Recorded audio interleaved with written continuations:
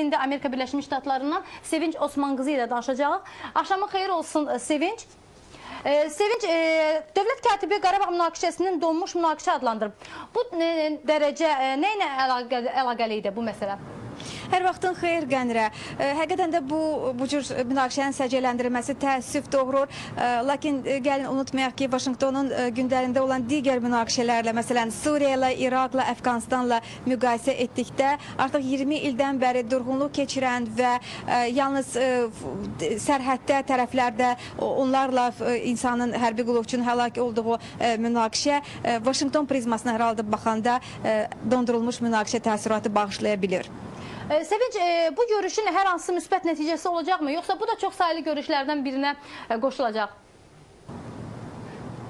Bəli, görüş başa çatdı və biz artıq hər hansı, hansısa müsbət e, nəticələrdən danışa bilərik. Əvvəla bu John Kerry'nin 5 aydan bəri e, dövlət katibi olmasından bəri Qarabağ münaqişəsi ilə keç, bağlı keçirdiyi ilk rəsmi görüş idi. Mən şübhə etmirəm ki, bu yaxınlarda Ermənistanın Xarici İşlər Naziri ilə də bu cür analoji bir görüş keçiriləcək. Dünən Elmar Məmmədiyarov bizə danışırdı ki, e, məsələn John Kerry e, kiçik təfərrüatlarla maraqlanırdı. Yəni əgər e, Ermənistan qoşunlarını çıxararsa işğal olunmuş ərazilərdən o hansı imtiyazlar qazana bilər? O əl, nə qazanacaq, nə əl- əldə edəcək? Yəni bu cür e, maraq e, heç şübhəsiz ki, vacibdir bu e, danışıqlarda e, Ermənistan tərəfi ilə danışıqlarda istifadə olunmaq üçün hansı hansısa dəlillər, e, arqumentlər ola bilər. E, gəlin unutmayaq ki, e, John Kerry Qarabağ münaqişəsini çox gözəl bilir. O 20 ildən bəri erməni tərəfinin dostu reputasiyasını qazanıb. Və bu bizi qətiyyən qorxutmamalıdır çünki indi o senator deyil, dövlət katibidir və dövlət maraqlarından çıxış edir.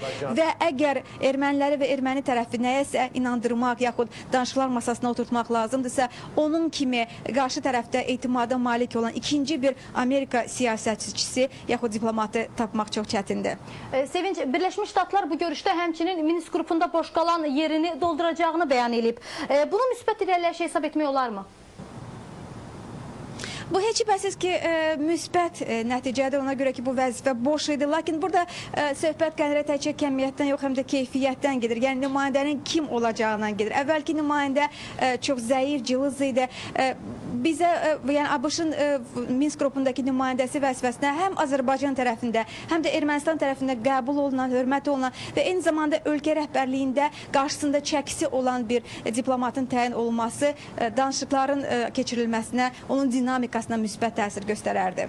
Sevinç, son olaraq soruşmaq istərdim. Bu görüşdən təəssüratı necə oldu? Yəni Amerika Birləşmiş Ştatları Qarabağ münaqişəsində Yəni rolunu fəallaşdırmaq niyyətindədirmi? Mən də məhz bu sualı verirdim dünən John Kerry'yə də, Elmar Məmmədiyarova da niyyət varmı? Çünki niyyət çox vacibdir. Dünən John Kerry də öz bəyanatında bildirdi ki, e, bundan əvvəl tərəflər e, müqaviləyə çox yaxın olublar, lakin son dəqiqə e, bu danışıqlar baş tutmayıb. Yəni rəhbərlikdə yanlış bir təəssürat yaranmamalıdır ki, artıq bütün səylər göstərilib və sadəcə olaraq tərəflər müqaviləyə yaxud razılaşmağa gəlmək istəmirlər. Ona görə də həm Azərbaycan rəhbərliyindən, həm də Ermənistan rəhbərliyindən tələb olunur ki, onlar məhz həqiqətən də münaqişənin həll olunmasını istədiklərini e, nümayiş etdirsinlər. E, Ona görə ki, e, hal-hazırda bu münaqişə, Qarabağ münaqişəsini yerindən tərpətmək lazımdır, canlandırmaq lazımdır və John Kerry kimi dediyim kimi bu sahədə çox böyük təcrübəyə malik olan bir siyasətçi hazırda dövlət katibidir. Təşəkkür edirəm Sevinç. Xatırladım ki, Aynisin Vaşinqton bürosundan Sevinç Osman qızı idi.